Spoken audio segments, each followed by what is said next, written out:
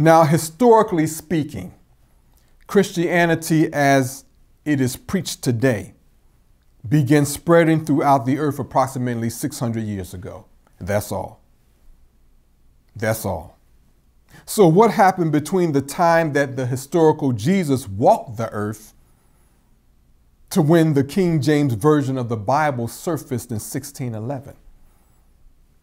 Which is a whopping 1600 years after Jesus walked the earth. Now, if Jesus was in fact the Messiah at that time, where is the eternal kingdom of God that he spoke of? It couldn't have been produced in 1600 years. But history shows that during this 1600 year period to this day, wars have raged throughout Europe and throughout the known world as people sought to enslave other people acting out the mind that Yaqub installed in the Caucasian people. And this is the history that we have, world history that we have, and this is the world history that we know. But how many so called Christian preachers deliberately take this up in their sermon? So let's return to the Gospel of Luke.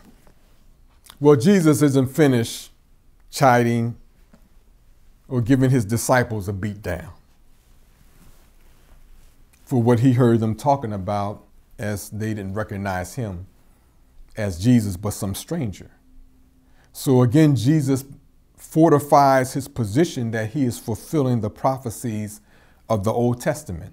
So continuing, it states, And he, Jesus said unto them, these are the words which I spake unto you while I was yet with you, that all things must be fulfilled which were written in the law of Moses, and in the prophets, and in the Psalms concerning me.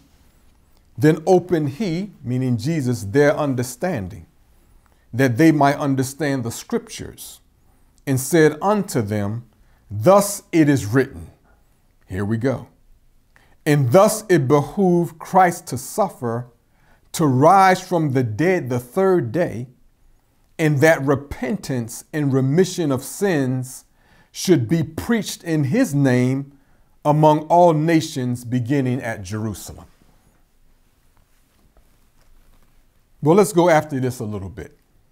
This Jesus declares that all things must be fulfilled that were written in the Torah in the writings of the Old Testament prophets based on the Torah, and in the Psalms, which is also based on the Torah. But none of this that was written in these writings was fulfilled 2,000 years ago. Yet this Jesus establishes his authenticity based on the fulfillment of the messianic prophecies. It's like saying, I'm this one because I fulfilled this, but you didn't. So how can you be that one? Now, even more, this narrative shifts away from the direct purpose for which the Son of Man, the Messiah, was to come into the world. And once again, that is the redemption of the lost sheep, the enslaved seed of Abraham. We will not get past that. So you got to prove today where those people are. We've already proven who they are. And we have the history of the Caucasian people. So we know it ain't them.